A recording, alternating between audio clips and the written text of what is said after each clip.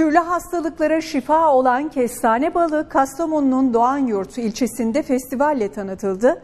İlçe ve il dışından festivale katılım yüksek oldu.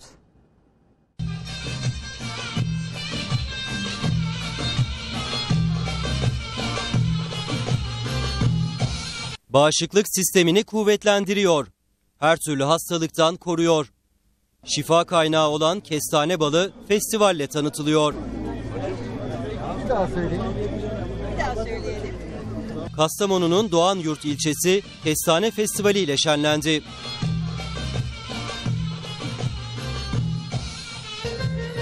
Bu yıl ikincisi düzenlenen festivalde yöresel yemekler yapıldı. Şarkılarla eğlenceli anlar yaşandı.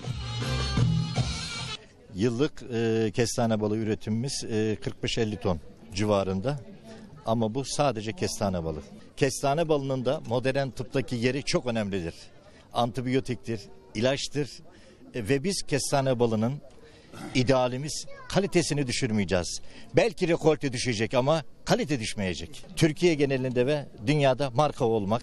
Mesela bir Taşköprü sarımsağımız da gibi biz de Doğanyurt'ta artık kestane balıyla aranır bir durum yaratmak hedefimiz.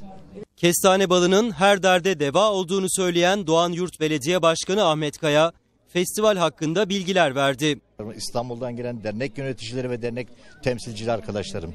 Coşkuyu genelde paylaştık. Hep birlikte yaşıyoruz. Biz esasında 1945 yılına kadar doğan yurtumuz Cidere'ye bağlı bir köyken 1945 yılında Cide'den ayrılmış İnebolu'ya daha yakın olduğu için e, yani Cidelilik tarafımızda vardır.